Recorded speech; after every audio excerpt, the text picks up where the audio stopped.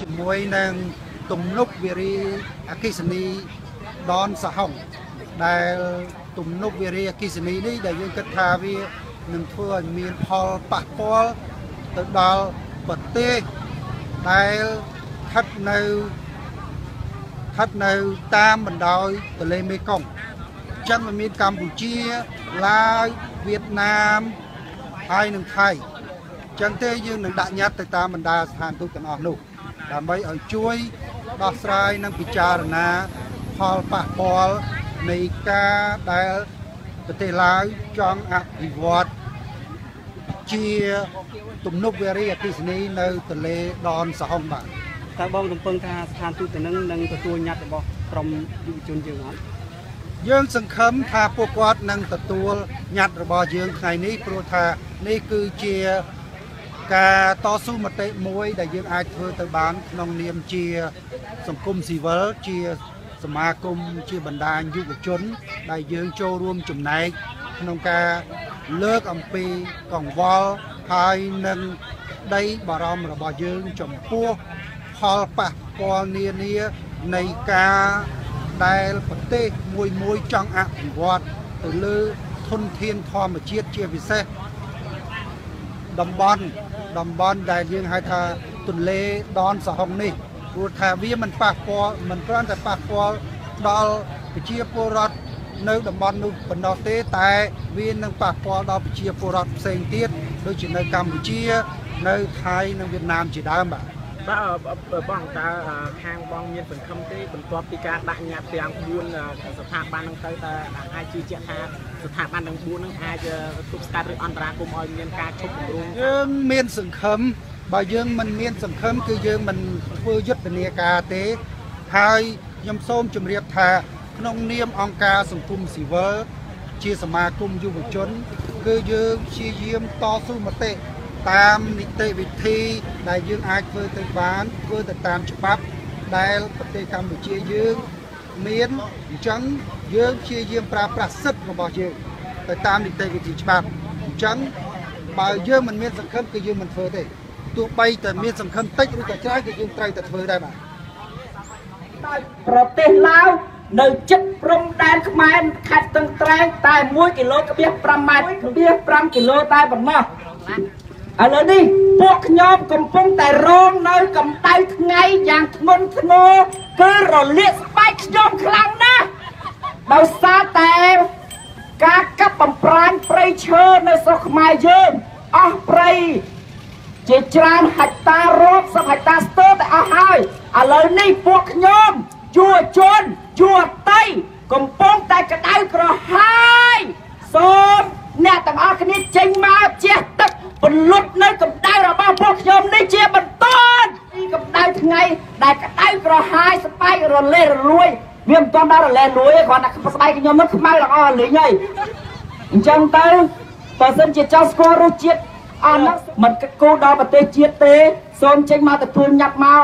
ដល់ពេលហ្នឹងពួកខ្ញុំចាប់ភារកិច្ចហើយនឹងបន្តទៅប្រទេសឡាវហើយនឹងបានដល់គ្នាដេកលក់អញ្ចឹងណា ទុកឲ្យក្មេងៗចំណងក្រៅពួកខ្ញុំណាធ្វើការវិញម្ដងទៅល្មមចូលទៅចូលវត្តចូលវាកម្មធម៌កម្មអាម្ដងហើយអស់លោកអើយក្មេងៗចំណងក្រៅទាំងអស់នេះគឺម្នាក់ម្នាក់មានសមត្ថភាពមានចំណេះដឹងមានបច្ចេកទេសក្នុងការជួយបកការពារបរិស្ថានការពារព្រៃឈើហើយក៏ដឹកនាំប្រទេសខ្មែរយើង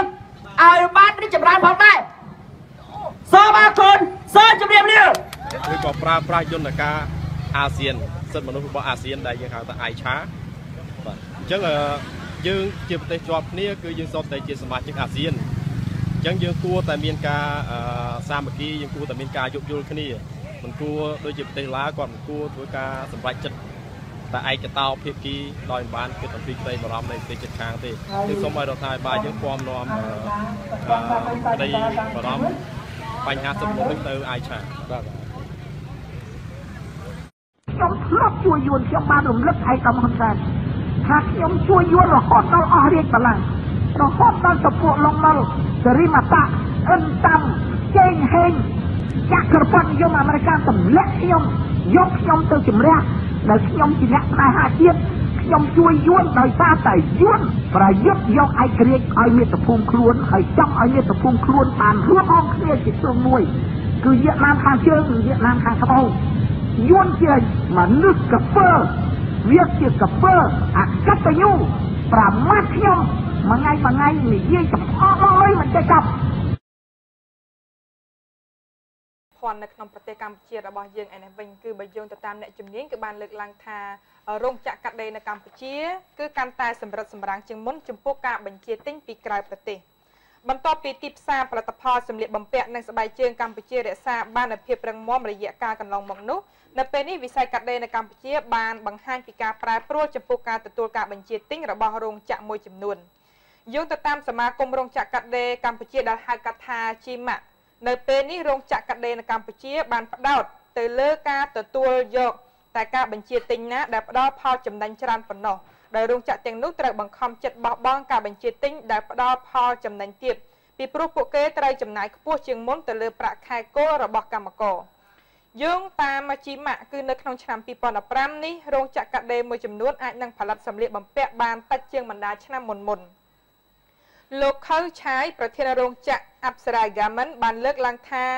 ខណៈដែលការបញ្ជាទិញពីរោងចក្ររបស់លោកនាពេលបច្ចុប្បន្នបានធ្លាក់ចុះបន្តិចបន្តួចរួចជាស្រេចទៅហើយនោះរោងចក្រលោកក៏នឹងត្រូវសម្រិតសម្រាំងបន្ថែមទៀតចំពោះការបញ្ជាទិញដើម្បីកុំឲ្យរោងចក្រទទួលនឹងការខាត់បង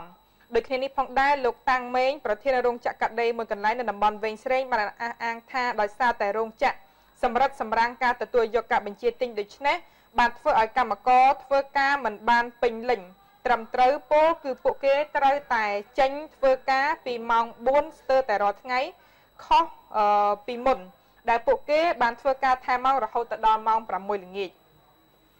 គេសង្កេតឃើញថាវិស័យកាត់ដេរនៅកម្ពុជាកំពុងតែទទួលរងនឹងការរំខានជាបន្តបន្ទាប់ពាក់ព័ន្ធទៅនឹងការធ្វើកោតកម្មរបស់កម្មករដែលទាមទារដំឡើងប្រាក់ខែគោល